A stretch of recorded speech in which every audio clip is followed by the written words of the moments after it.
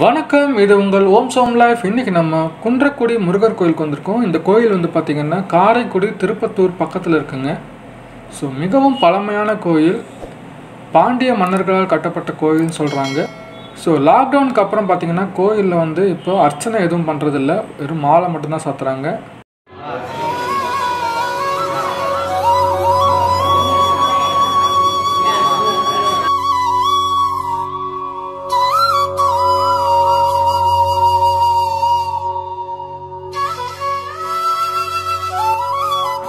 இன்னைக்கு வந்து என்னோட பையனோட பர்த்டே அண்ட் சின்னவனுக்கு வந்து மொட்டை அடிக்கிறதா வேண்டியிருந்தோம். ஸோ அதுக்காக இந்த கோயிலுக்கு வந்திருக்கோம்.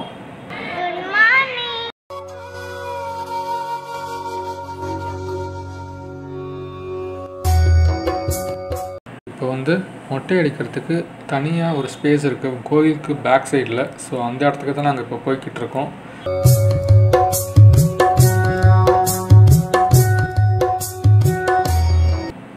மிகவும் பழமையான கோயில் அப்படிங்கிறது இந்த தூண்களிலிருந்தே நமக்கு தெரியுது.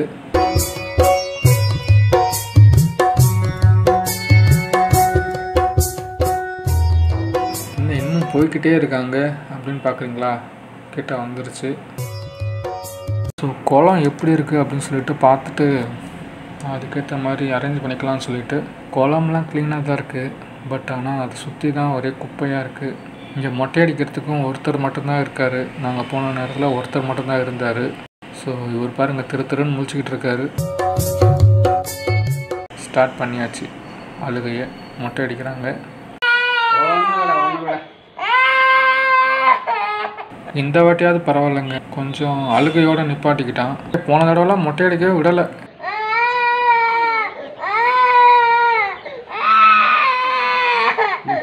லைட்டாரா கத்தி பட்டுருச்சு. அப்பா ஒரு வழியாக மொட்டை அடித்தாச்சு சரி குளத்தங்கரையில் இறங்க முடியல. ஸோ அதனால் ஜக்கு வாங்கிட்டு வந்துடலாம் அப்படின்னு சொல்லிட்டு போகிறச்ச பார்த்தீங்கன்னா இங்கே யானையை குளிப்பாடிக்கிட்டு இருந்தாங்க. ஸோ டக்குன்னு ஒரு கிளிப் எடுத்துக்கலாம் அப்படின்னு சொல்லிட்டு. ஆஹா ஆ பாருங்கள் ஜக்கு வாங்கிட்டு வந்துட்டேன். குளம்லாம் சூப்பராக இருக்குது நீட்டாக இருக்குது தண்ணி நீட்டாக இருக்குது பட் ஆனால் கீழ்ப்படிக்கட்டு மட்டும் செம பாசையாக இருந்தது. புதுசாக போனவங்க அதில் இறங்கி நின்று குளிக்க முடியாது. பழக்கமானவங்களுக்கு மட்டும்தான் இந்த தண்ணிக்குள்ளே இறங்கி குளிக்கிறதுக்கு வசதியாக இருக்கும். ஸோ பாருங்கள் எவ்வளோ பாசம் இருக்குது அப்படின்னு சொல்லிட்டு. சின்னவரை வந்து குளிப்பாட்டியாச்சு. ஸோ முருகரோட சிலையும் விநாயகரோட சிலையும் குளத்தங்கரையிலே செதுக்கியிருக்காங்க.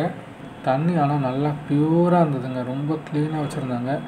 ஆக்சுவலாக அந்த யானையே வந்து பார்த்திங்கன்னா முன்னெல்லாம் வந்து இந்த குளத்துல தான் கூட்டிகிட்டு வந்து குளிப்பாட்டுவாங்களாம். இப்போ அந்த யானைக்கு வந்து வயசாகிடுச்சு அப்படின்ற காரணத்தினால மேலேயே வச்சு குளிப்பாட்டி விட்டுறாங்க.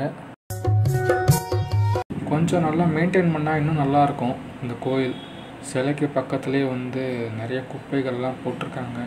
அந்த படிக்கட்டு வந்து கொஞ்சம் பாசையாக இருக்குது அதை கூட கொஞ்சம் க்ளீன் பண்ணலாம். வந்து குளிக்கிறவங்களுக்கு கொஞ்சம் வசதியாக இருக்கும். ஸோ பழக்கமானவங்க மட்டும்தான் இப்போதைக்கு குளிக்கிற மாதிரி இருக்குது உள்ளே இறங்கி நீச்சல்லாம் அடிக்கிறாங்க. சூப்பராக இருக்குது அதெல்லாம் பார்க்கும்போது. ஸோ இப்போ யானை வந்து குளிப்பாட்டி ரெடி பண்ணிட்டாங்க. ஸோ இந்த யானையோட பேர் பார்த்திங்கன்னா சுப்புலட்சுமி. அறுபத்தி ஒரு வயசு ஆகுது அப்படின்னு சொல்லி சொல்லியிருக்காங்க. ஸோ நான் வீடியோ எடுக்கிறேன் அப்படின்னு சொல்லிட்டு அது நல்லா ஃபோர்ஸ் கொடுத்துக்கிட்டு இருந்தது. இப்போ என் பசங்களும் அதோடு ஜாயின் பண்ணிக்கிட்டாங்க. பாய் சொல்லுங்கள் யானைக்கு.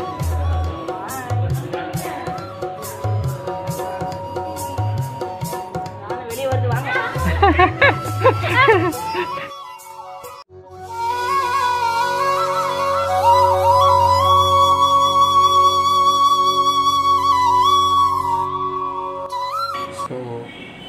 எனக்கு வயசாகிடுச்சு அப்படின்ற காரணத்தினால அதனால் கொஞ்சம் நடக்கக்கூட கஷ்டப்படுது. நாங்கள் குளித்து முடிச்சுட்டு யானைக்கு கூட கொஞ்சோண்டு பேர்ச்சம்பழம் வாங்கினோம் அதுக்கு கொடுக்கலாம் அப்படின்னு சொல்லிட்டு. ஸோ இது இப்போ அந்த பேர்ச்சம்பழம் தான் கொடுத்துக்கிட்டு இருக்காங்க. கொடுக்க போகிறாங்க யானை பசிக்கு சோளப்பொரியா அப்படின்னு பார்க்குறீங்களா ஸோ யானை பாருங்கள் அழகாக வாங்கிக்கிச்சு. நம்ம பெரியவன் தான் வந்து யானைக்கு பேர்ச்சம்பளம் கொடுத்துட்டு ஆசீர்வாதம் வாங்கணும்னு ஆசைப்பட்டான். பட் ஆனால் அது காசு கொடுத்தா தான் ஆசீர்வாதம் பண்ணும்.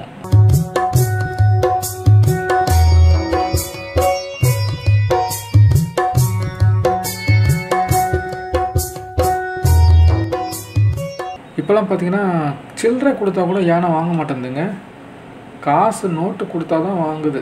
எல்லாமே பக்கத்தில் நிற்கிற பாகன் சிக்னல் கொடுத்தா தான்.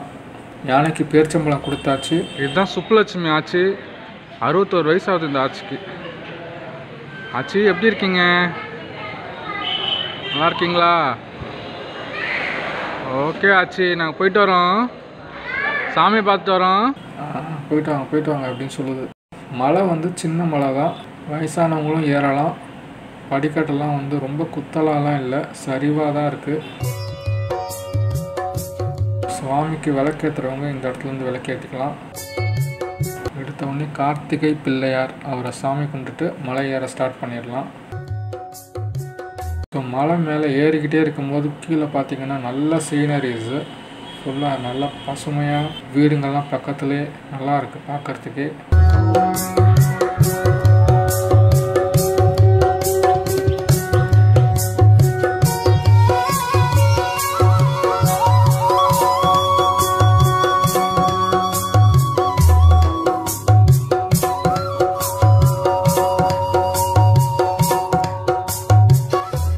தூண்கள் எல்லாம் ரொம்ப பழமையான தூண்கள்.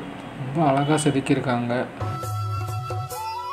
இந்த தூணோட ஹைட்டு தான் மெயின் பிரகாரத்தில் இருக்க முருகரோட சிலையும் அந்த ஹைட்டில் தான் இருக்கும். அவ்வளோ உயரமாக இருப்பார்.